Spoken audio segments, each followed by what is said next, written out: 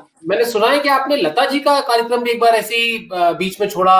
आप अनूप जलोटा साहब का कार्यक्रम छोड़ा, मेहदी हसन साहब का छोड़ा तो और चूँकि आप इतनी ईमानदारी से अपनी गलतियों पर भी मतलब बात कर रहे हैं और कह रहे हैं कि हाँ ये मेरी गलती थी और ये मेरी अखड़ अकड़ वो था या या ये मेरी औकात नहीं थी, आप इस तरह के शब्द इस्तेमाल कर रहे हो तो ये मेरी हिम्मत हो रही है पूछने की, वरना शायद मैं ये सवाल नहीं पूछता।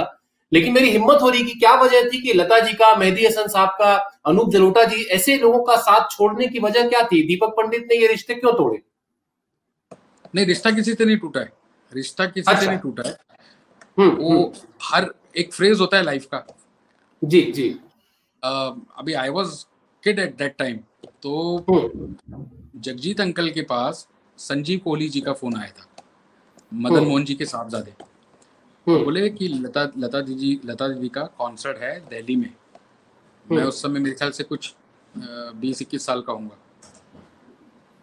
तो बोले लता जी का कॉन्सर्ट है दिल्ली में ताल कटोरा स्टेडियम में। और वो मेरे लिए चाहते हैं कि मैं वायलिन में बजाऊं। और उस कॉन्सर्ट में आ, सिर्फ़ तीन ही लोग थे। तीन ही लोग मतलब म्यूजिशियन तीन ही थे। हम्म। मैं था वायलिन पे सोलो वायलिन पे। सुराज सुराज साठ एक अकॉर्डियन बजाते थे। वो थे।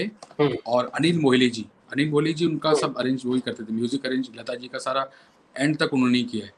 वो करते थे वो ही वॉज़ ऑन वाइब्रोफोन अच्छा।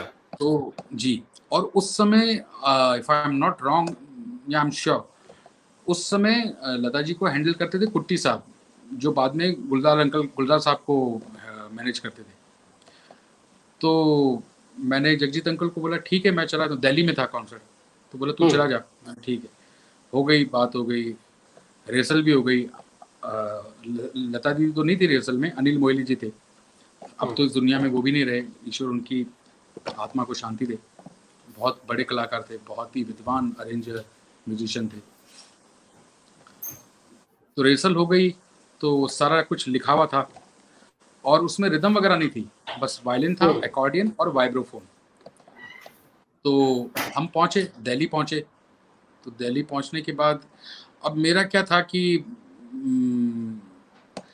जगजीत अंकल के साथ ट्रैवल इतना किया ना तो वो सारी चीज़ें जो थी ना उस मुताबिक नहीं होती थी तो बड़ा अजीब लगता था। हम्म। समझ तो चलो वो मैनेज कर लिया मैंने। ठीक है it's matter of one day क्या फ़र्क पड़ता है? और इतनी हमारी सरस्वती माँ है तो उनके साथ बजाने का अवसर मिला है। ये माइंड मेकअप करके मैं गया। फिर जब हम स्टेडियम पहुँच रहे थे तो उससे पहले शो के कॉन्सर्ट से पहले तो चालीस हज़ार लोग थे करीबन कुछ। मुझे अनिल अनिल मोहिली जी ने मैं उनके साथ रूम शेयर कर रहा था। मुझे उन्होंने कपड़े दिए कपड़े। बोले ये यूनिफॉर्म है ये आपको पहनना पड़ेगा वाइट कुर्ता पजामा। तो आप मेरे से ना मतलब प्यार से कुछ भी करा लो मैं जान दे दूँगा। लेकिन एक होता ना कि ये कंपलसरी है ये करना पड़ेगा हम्म, तो उसके अगेंस्ट हम्म। जाता हूँ मैं फिर। ये हम्म, मेरा नेचर है ये ये बदतमीजी भी कह सकते हैं इसको आप और जो भी समझे लेकिन ये मेरा नेचर है। तो मैंने नहीं यूनिफॉर्म तो मैं स्कूल में पहनता था स्कूल छोड़े, मेरे को टाइम हो गया। मैंने उनको बस्ती में कहा। बोला, नहीं, ये तो पहनना पड़ेगा। तो मैंने, नहीं, मैं यूनिफॉर्म तो नहीं पहनूँगा। और उस समय वो दो ही दो ही फ़्लाइट होती थी बॉम्बे दिल्ली की सुबह एक शाम की, वही आती थी वापस। तो मैं शाम की फ़्लाइट से वापस आ गया बॉम्बे मैंने नहीं किया कॉन्सर्ट और उसका जो उस समय जो भी खर्चा था वो मैंने पे किया देन आई रियलाइज़ कि ये मेरी लाइफ की सबसे बड़ी भूल थी कि मैंने ठीक है जो भी मेरे प्रिंसिपल्स हैं या मेरे उसूल हैं लेकिन आप एक सर्टन एज के बाद आपको पता चलता है कि आपने लाइफ में क्या मिस्टेक्स की हम्म।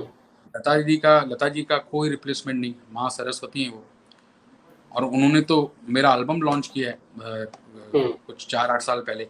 वो मेरे भाई हैं मयूरेश भाई बड़े ही गुणी इंसान हैं। तो उनके ज़रिए से वो चीज़ हुई।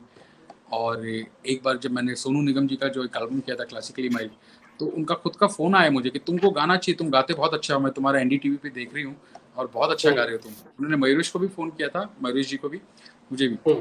खैर वो मैं बात में आऊँगा उस बात पे।